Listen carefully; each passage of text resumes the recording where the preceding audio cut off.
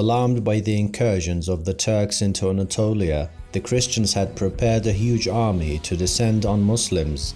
They established crusader states such as the Principality of Antioch, the County of Tripoli, the County of Edessa, and the Kingdom of Jerusalem in the Middle East, persecuting local Muslims. The Atabeg of Mosul of the Seljuk Empire, Imad ad-Din Zengi's steady efforts enabled the Muslims to relatively unite and they began reorganizing their attacks on the Crusaders.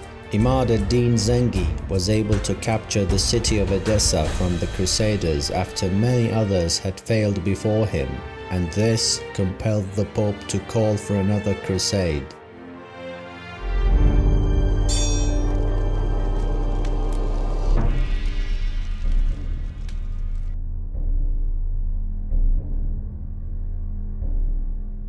23 Christian factions combined their forces to raise a crusader army by the call of the Pope. The Holy Roman Emperor Conrad III and the French King Louis VII began leading the armies of the Second Crusade in the year 1147. Unlike the first one, this new crusade was decided to be commanded and managed by the kings themselves. The Eastern Roman Emperor Manuel I was worried that the Crusaders will begin another onslaught in his lands because the First Crusade had been too huge to be well controlled and they had ravaged all the countryside before they reached Constantinople. Taking lessons from the First Crusade, a detailed precautionary plan was made. The Crusaders would march across the Balkans stage by stage, the Roman garrisons were placed at every stage and markets providing supplies were set. The Roman troops were ordered to intervene immediately in any reckless behavior. Owing to the precautions, Crusader vanguard composed mostly of Germans reached Constantinople without any major problem. They passed to Anatolia without any delay. Having an extensive knowledge about Anatolian geography and the Seljuk tactics, the Roman Emperor informed the Crusaders that it will be difficult to procure provisions and advised them to be well supplied. He also warned them about a probable Seljuk ambush. The French had not arrived at Constantinople yet. The Germans decided that it is pointless to wait for them and began their march directly to the Seljuk capital city of Konya. When they reached Nicomedia, Conrad III of Germany separated his army into two large groups. The first group would be commanded directly by the Conrad III himself and the second group which was mainly formed of civilian pilgrims and troops to protect them would be commanded by the king's brother. The first group under the command of Conrad III took the path which was used by the first crusaders. However, the Seljuks were waiting for them near Dorylaeum. On 1097, the first Crusaders had defeated the Seljuk Sultan Kilij Arslan exactly at the same place. Now, Seljuk Sultan Masud I desired to settle the scores. The Crusaders made haste in their march across Anatolia and arrived at the Dorylaeum plains to set up camp and resupply fresh provisions. Because they did not scout the surrounding area, they were completely oblivious of the Seljuk army nearby under the command of Sultan Masud I. The German crusaders did not have any precaution against cavalry charges and the Seljuk cavalry ambushed the camp as swiftly as an arrow.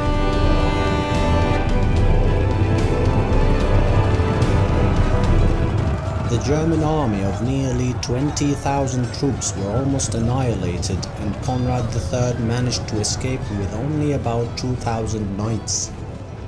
This 2,000 knights who were able to flee from the battle retreated to Nicomedia and many of them decided to return Germany, completely abandoning the crusade.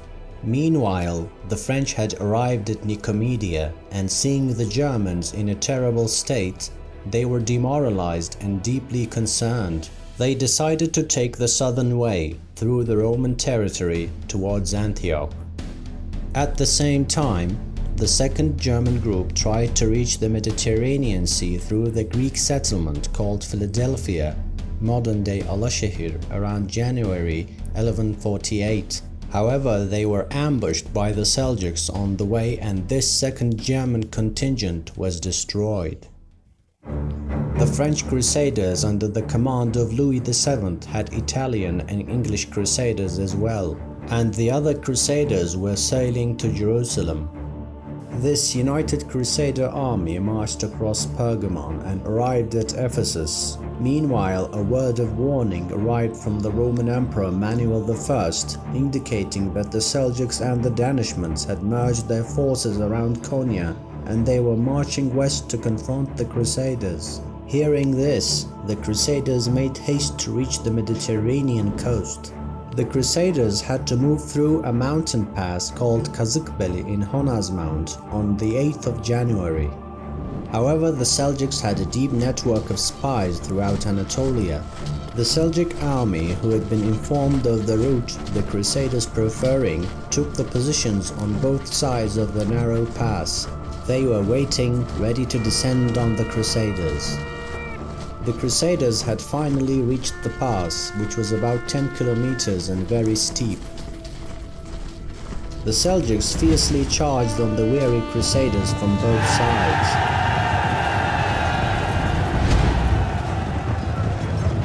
The unsuspecting Crusaders were shocked and panicked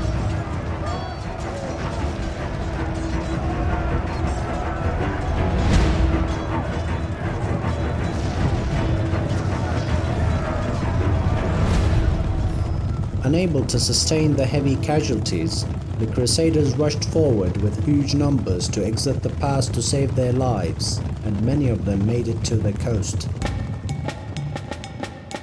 The Second Crusader had been very tough for the Christians so far, because the Seljuks had destroyed more than the half of the Crusaders. Those who remained alive had eventually managed to reach Jerusalem through land and sea roads. The nobles of the Kingdom of Jerusalem warmly welcomed the newly arrived Crusaders. They called for a council to decide what to do with the Crusaders. The council meeting took place near the vital harbour city of Acre on 24th of June 1148. The meeting was very long and full of debates, the strategic and geopolitical importance of the city of Damascus shined out in the council and therefore they decided to attack the city of Damascus. Until the year of 1157, the city of Damascus was officially belonged to the Seljuk Empire. When the news had reached the Atabeg of Damascus, he ordered the preparations to defend the city and asked for help from Nur ad-Din Zengi, who was another Seljuk Atabeg. The Crusader states and the newly arrived Crusaders merged their forces in the Montfort fortress and began their march to Damascus. While they were besieging the city, Nur ad-Din Zengi and his elder brother Saif ad-Din Zengi were on their way to Damascus.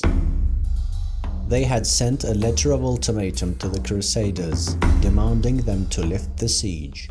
The Crusaders knew the Zengids very well they had conquered the county of Edessa after many others had failed for 40 years. Moreover, the Crusaders did not possess enough forces to stand against the combined Muslim armies and they lifted the siege to retreat back to Jerusalem. The newly arrived Crusaders and their leaders were deeply dissatisfied with the outcomes and each one of them felt betrayed by the others. The news of the failed crusade was seen as a major disaster in Germany. The relations between the Romans and the French had deeply deteriorated after the Second Crusade. King Louis VII believed that the Romans had betrayed the Crusaders and accused the Roman Emperor Manuel I of treason against Christendom.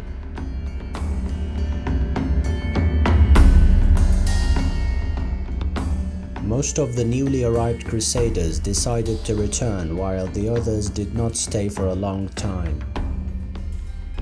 The Crusaders did not want to provoke Nur ad-Din Zengi and therefore they did not dare to attack any Sunni Muslim city in the region. Finally, they decided to invade the Shiite Fatimids who had been hostile to Nur-ad-Din Zengi. However, having no choice, the Fatimid ruler begged Nur ad-Din Zengi for help against the Crusaders.